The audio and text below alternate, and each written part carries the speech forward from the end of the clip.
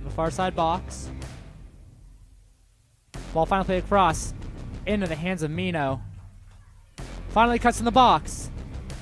This is first time. Egley, second time ball across. Paige Mino. Once again. Egley once again forward. Still going. Presley Egley has two in the box. To the six. Shot deflected by Haley Morgan. Klingenstad again. Shot. That will go in. West Branch with 3.35 left We'll open up the scoring 1 0. Ball across the box. Pass Mina, pass everybody. Still bouncing around. Deflected. Another shot. That will get deflected in.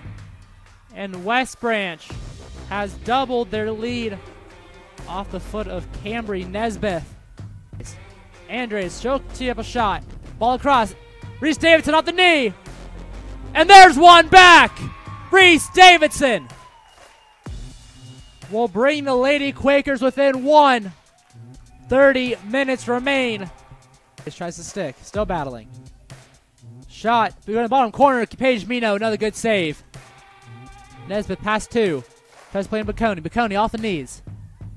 Still in the box. Shot. Saved again by Mino. Still going. Ava Lee just able to keep it in. Sarah Sinsley, 10 seconds left.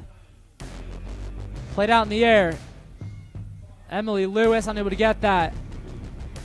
And that will do it. West Branch once again knocks off Salem.